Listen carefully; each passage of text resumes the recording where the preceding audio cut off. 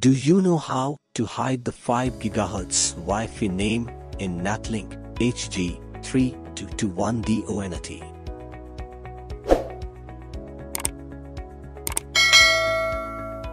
First open your web browser.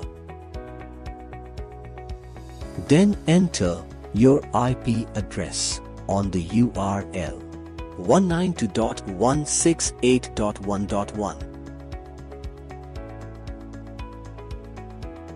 A dialog box will appear. Type your username and password. Enter verification code and click on the login button.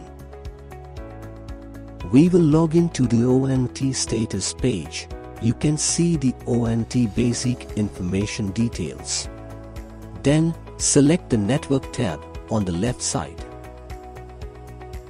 Network settings options are available here. Select the 5G option. See the cancel broadcast option. If you want to hide Wi-Fi, you can enable the cancel broadcast option. This will give you more security in places where you have a lot of Wi-Fi networks.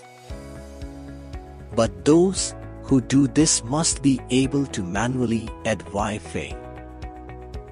Click the cancel broadcast button.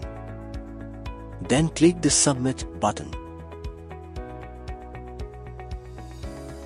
Back to status page.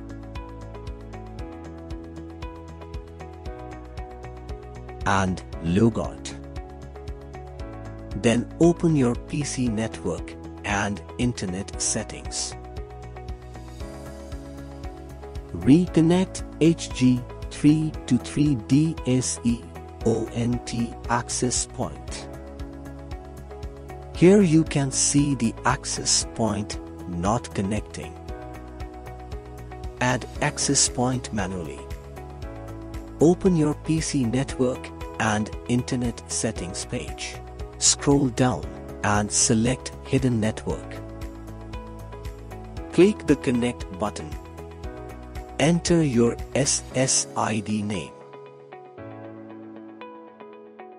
Click the next button.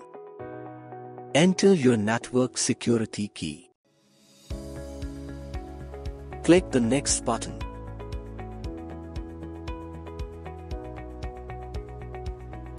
You can see the access point is manually added. Please subscribe our channel and also press the bell icon there for getting notifications. Leave a comment.